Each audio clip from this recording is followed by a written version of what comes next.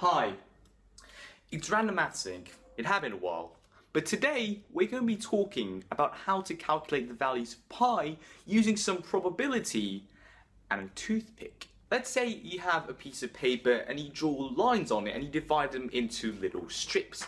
Now I take that piece of paper and I have a toothpick and I drop that toothpick onto the paper. What's the chance, what's the probability of the toothpick actually landing on one of these lines. And this is an actual mathematical problem called Buffon's needle problem, named after this Italian mathematician with a really long name. I think that's the picture of the wrong Buffon. That's better. Now this problem involves basic probability, which means it shouldn't be too hard, because we know that the probability of an event will equal to the number of favourable outcomes divided by the number of total outcomes that could happen from the event. And so therefore, it shouldn't be too hard for us to work out the probability of whatever event we're trying to find except it is a bit trickier than it actually sounds. If we were to find a probability in a dice roll, that is much easier because there is six outcomes and all the outcomes are discrete. They're all separate of each other. There's no in between. You can't roll a 1.5. You can only roll a 1 or you can roll a 2. But in our case, when we throw a toothpick and we have it drop on a piece of paper, the outcomes is not discrete because the toothpick could actually be anywhere on a piece of paper.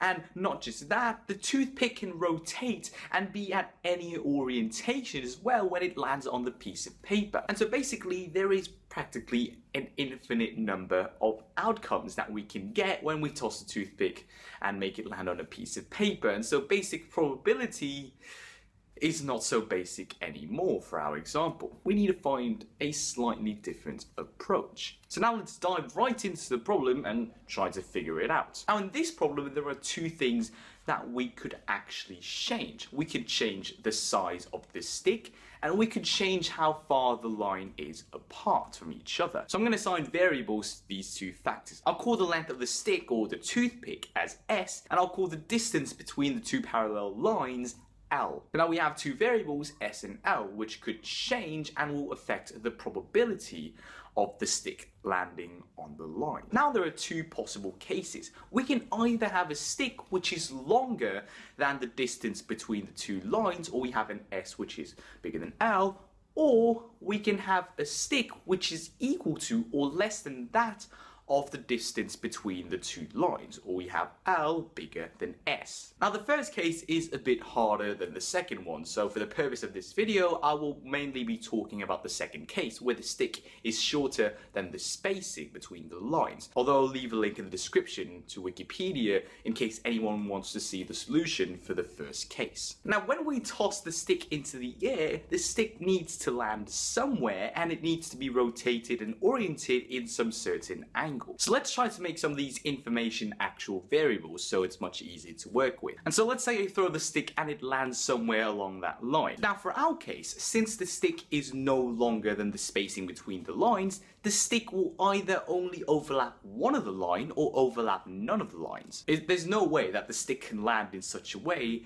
that it covers up two lines, unless we're talking about the first case, which we're not. And so for this explanation, I'm only going to consider the stick with respect to a single line out of all of those infinite number of parallel lines when this line that we consider will be the line that the, either the stick lands on or is the line that the stick is closest to. Now the stick will have two ends. One end will be on the left and the other one will be on the right. I'm going to call the distance from the right end of the stick to the line and I'm going to define this as x. Now I'll also give x a range.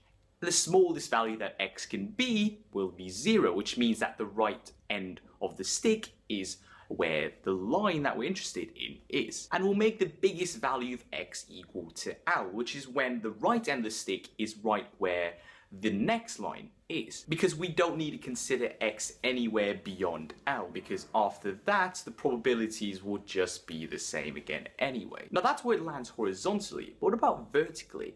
Well, we don't actually need to consider where the stick lands vertically because it doesn't matter if the stick lands here or the stick lands here. It's practically the same because the line doesn't change going up vertically. So we don't need to care where the stick lands up here or all the way down here. So now we're about the orientation of the stick? Well, the stick could be lying like this or it could be at an angle like this. I'll define this angle theta. Now, what's the range of theta? What could the angle of theta be? Well, it's very simple. If the stick's perpendicular to the lines, then theta will equal to zero. But if the stick is parallel to the lines, then theta will equal to 90 degrees or pi over 2 radians. So theta could range anywhere from 0 degrees to 90 degrees or 0 degrees to pi over 2 radians. So that was way too long just talking about the variables. Now let's actually go into the probabilities. And so let's say we have a stick with a constant value theta with a certain orientation. Now the value for x of the stick could be anywhere from 0 all the way to L as I've mentioned earlier. Now I can translate the stick from 0 to L, keeping its rotation the same. But how far can I move the stick so that the stick still actually lands on the line? Well, I can move the stick from x equals to 0 to this distance. But how far have I moved the stick? Well, I know that the length of the stick is s, and I know that its orientation is theta. And so how far I've moved the stick is just this length, which equals to s times cosine of theta. And so we have the stick fixed at this orientation. The probability of the stick actually landing on the line will equal to s times cosine theta divided by L. But this is the value for just one theta. We have an infinite number of values of theta that it could be at, all ranging from 0 to 2 pi radians. So I can plot a graph looking a bit like this, where this bit down here is the graph of s cosine theta, which represents all of the orientation which the stick lands on the line. And this outer rectangle here represents all of the cases that could happen, all the values of x and all the values of theta. And so to find the probability, we have to divide the total number of successful outcomes divided by the numbers of total outcomes, which means we have to divide the area of the graph here by the area of the graph here. But how can we find the areas under these two graphs? oh my god. And so we have to use a bit of calculus, more specifically integration. The probability of the stick landing on the line will equal to the number of favorable outcomes divided by the number of total outcomes. The number of favorable outcomes is represented by the area under the graph x equals s cosine theta, and the number of total outcomes is represented by the area under the line x equals l. And so in order to find the area under these two curves, we have to integrate both of these curves with respect to theta. And we're going to do this over the range from from 0 to pi over 2 radians. And so standard integration. L and S are both constant, so I'm going to take them out. The integral of cosine theta is just sine theta, and the integral of 1 is just going to be theta. And then obviously we just plug the values of pi over 2 and 0 in like this, like you'd normally do an integration. Then you spit out an answer looking like this. And so there we get the answer. The answer of the probability of the stick landing on the line equals to 2s over pi l, which is brilliant. There it is, that's the answer to Buffon's needle problem. But we're not quite done there, because there's one bit that's really interesting that we should consider. Now I can find the probability of this problem experimentally by actually tossing the stick and seeing how many times it lands. And I know the length L, and I know the length S. And so I rearrange the equation like this. I can find a pi. I can actually find what pi is if I know these three variables. Hmm, so that's exactly what we're going to do. We're going to try to find pi experimentally using probability and a toothpick. So I'm going to take a toothpick and I'm going to take a piece of paper and I'm going to draw a whole bunch of lines on that piece of paper. To make things simple, I'm going to make sure that the distance between the lines and the length of the stick are both the same. So L equals to S and so probability becomes 2 pi, which is much simpler to work with. So now what I'm going to do is I'm going to have a piece of paper and a toothpick and I'm going to throw the toothpick onto the piece of paper a hundred times and record all the successful attempts, how many times the stick actually lands on the piece of paper. So then I tossed the stick a hundred times and I got 68 successful outcomes can actually check out the whole video there. And so p equals to 0.68, and that's from doing the experiment.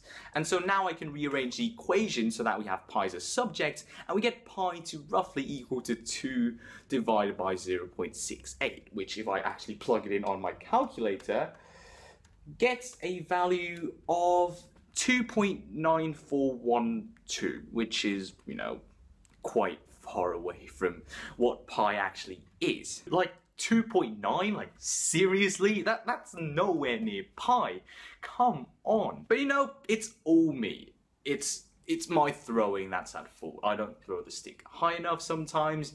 Um, sometimes the stick might just land and not really be truly random. And because I'm human and I get tired, I was throwing the stick at 11 for God's sake. And so it was at that point I decided that I needed to use something much more sophisticated. I turned to a computer to one of the most beautiful coding software out there in the market. Microsoft Excel. So here's what I did. I got Microsoft Excel to simulate two different numbers, the value of x and the value of theta. And then I got Microsoft Excel to find out another number, which equals to x minus s cosine theta. Now, if the stick does cross the line, you can see that the new length that we've found will be a negative value. And if it doesn't cross the line, this length will be a positive value. And so basically, I just had to run an if statement that if this new value is less than zero, then we get a successful outcome. And so that's it. It's very simple. It's done on Excel, but it's more random than what I did from earlier when I was actually tossing the stick. There is less factor that's going to create a bias for it. And rather than doing it a hundred times, I did it 10,000 times. Yes, I did it 10,000 times, so it is very simple. I just had to drag all the formulas down all the way to 10,000 rows. And then it was very simple. We just had to count the number of successes and divide that by 10,000 to get the experimental probability. And this is going to be so much more accurate than what I did because in one, it's more random and two, we get more samples of it. And so by taking our experimental probability and shoving it into this equation and trying to get a value of pi, we get out a value of pi which is equal to 3.15 something. And to be honest, that is much better than what we got from earlier, 2.9 something. Come on. But yes, this is it for my Pi Day video this year on how to calculate pi experimentally. Thank you very much for watching this video today and I'll see you again very soon. But until then, I'm gonna go off and eat a pie.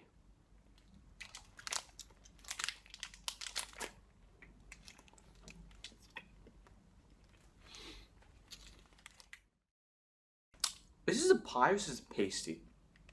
Eh, whatever.